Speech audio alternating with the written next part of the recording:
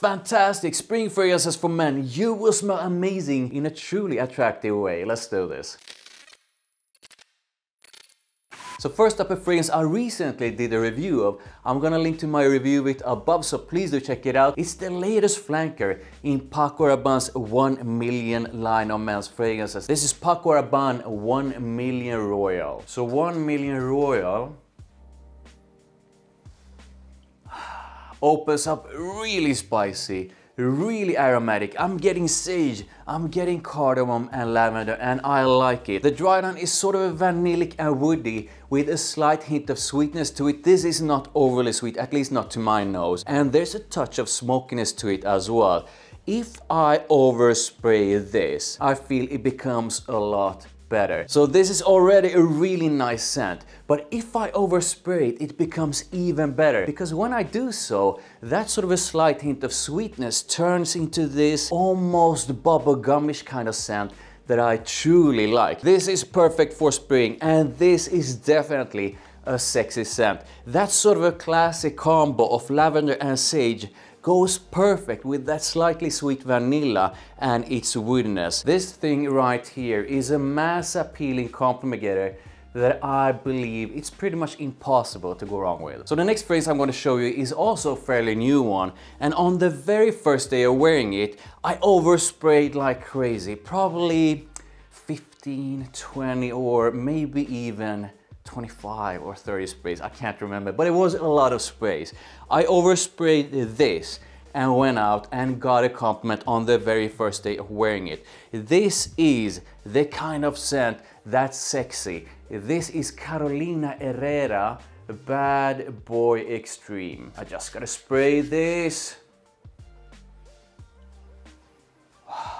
The opening is bright and aromatic with sage and ginger. I like the opening and the dry down is a bit of that but with a fab dose of cocoa, a bit of sexy fruity sweetness from plum and a bit of vanilla. So this is basically a dark chocolate-ish kind of scent with a bit of fruity sweetness to it, a bit of vanilla and everything being slightly warm, ambery and it's got this fantastic creamy and sort of a nutty feel to it. So I did a comparison of Bad Boy Extreme and the rest in the line. I'm gonna link to that comparison above, so please do check it out. I think the whole line is underrated. I think pretty much the whole line has something unique to it and Extreme is definitely my favorite. This is Sexy Juice.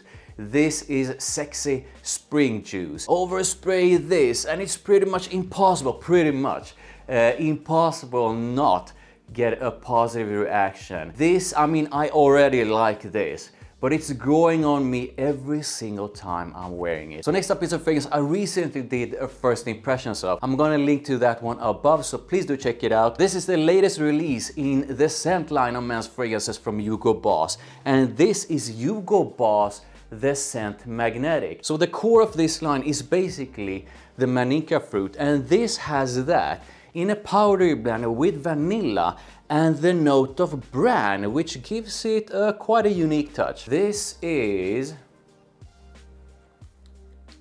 this is so good. This is powdery, but I do not feel this is overly powdery, thick powdery or dense kind of powdery.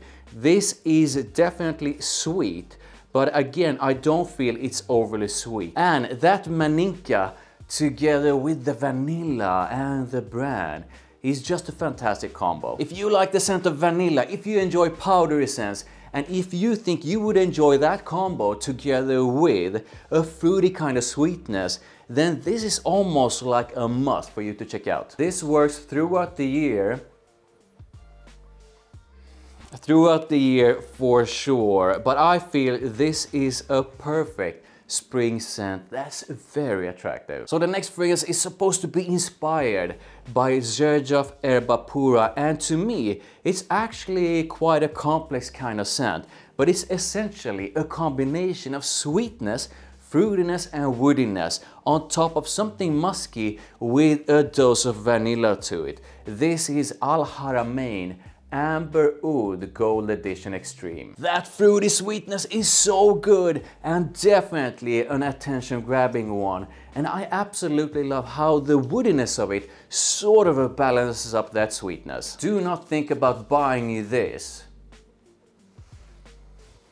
Ah, I need more, I need more, come on. Do not think about buying this if you don't enjoy fruity sweet fragrances because this is pretty much all about that with a big dose of woodiness to it. But if you love fruity sweet fragrances, please do try this one out. This smells luxurious. The performance is incredible and I feel this is a fantastic and very attractive spring scent. So for the next one, I want you to take a deep breath. Take a deep breath, relax, focus on my voice, focus on me, and whatever you do, don't run away. I've got a floral scent for you. But not any kind of floral. This is not your ordinary floral scent. This is a luxurious, attention-grabbing floral with a big dose of fruity sweetness to it and a super smooth woody base. Nishane Vain & Naive is all about rose, the sexy fruity sweetness of plum and raspberry and that combo is a fantastic one in this scent together with quite a smooth woody base and a dose of vanilla. The combo sexy, the performance sexy strong, the results of wearing it most likely a super sexy compliment. I feel you can wear this, I mean you can pretty much wear this all year round but I do find this to be perfect on spring days. So once again, don't run away. I'm going to show you a Versace and not just any Versace. I'm going to show you one of the Eros. Now I know that Eros gets a bit of hate, but the reason why I'm showing it to you is because it's a pretty damn awesome scent and it's definitely a sexy spring scent.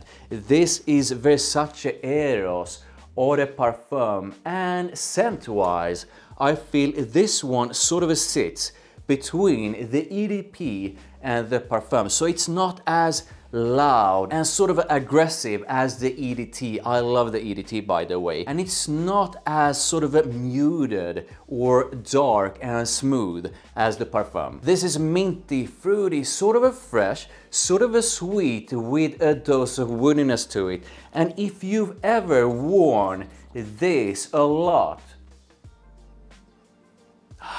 while being out and about among a lot of people, then you know that this is a scent a lot of people find attractive. This is a great scent you can use throughout the year, but I reach for it mostly spring and summer. If you are looking for a mass appealing compliment getter that most people most definitely will enjoy getting a whiff of, look no further. This is the new Born in Roma Intense and it opens up with an amazing dose of ginger, sage and geranium and I really like the opening and it dries down to an almost bubble bubblegumish kind of sweetness with a fab dose of lavender and vanilla and everything being sort of ambery and slightly smoky. It's vanillic, it's sweet, almost bubblegummy sweet with a dose of lavender bringing some balance to it all and everything being ambery and spicy with a soft smoky touch. So I really need to do a comparison of all the almost but this one right here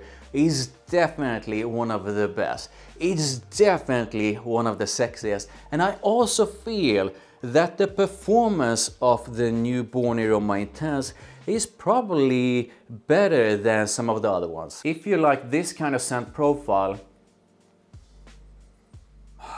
then you will most likely enjoy Born in Roma Intense. And if you are looking for a sexy spring scent, then I feel this is definitely something you should check out.